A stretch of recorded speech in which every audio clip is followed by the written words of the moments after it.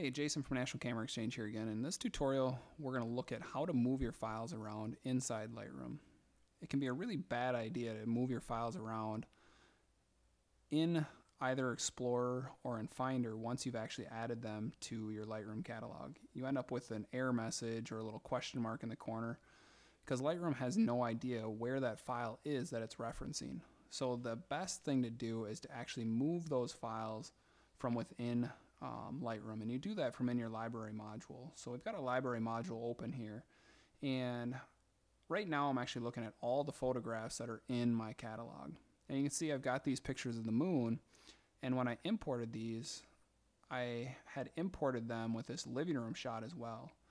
So if I right or right click, two finger click, command click, whatever you do on your computer, you get this list here and you can say show in Finder and you can see that I've got this image sitting inside the folder Ashley. Um, and I actually want that into a folder called Moon.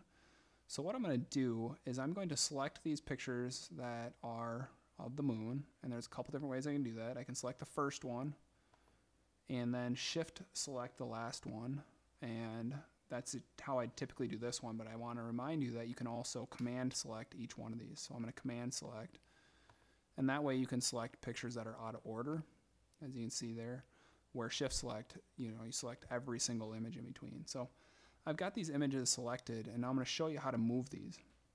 So the first thing is to make or find the folder you want to move them to. So I'm going to put them on this backup one, which is my external hard drive. But I don't want them in any of the folders in this list because I don't want them underneath our national camera folder here and I don't want them underneath this one. I actually want to put these um, kind of as a parallel folder to this level. I don't want them underneath anything. So what I can do is I can, uh, again, two finger right click, command click, and get this list here. And you can see on this list, I've got this option to show parent folder because Lightroom only shows the folders that actually has an image in it. So I can show the parent folder here and you see above this folder now I have backup 1. So this is my very main level and if I click on backup 1 I can create a folder inside backup 1.